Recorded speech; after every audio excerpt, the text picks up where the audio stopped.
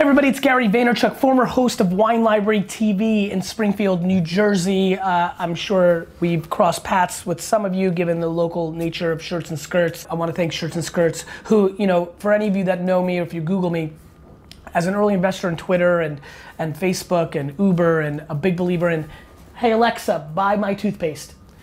And things like Alexa. Alexa, buy this. Order placed. By Thank- the way, thank you, I can Alexa. now send you fact- notifications thank you, about Alexa. future shipping updates. Would Alexa, you like stop. me to note?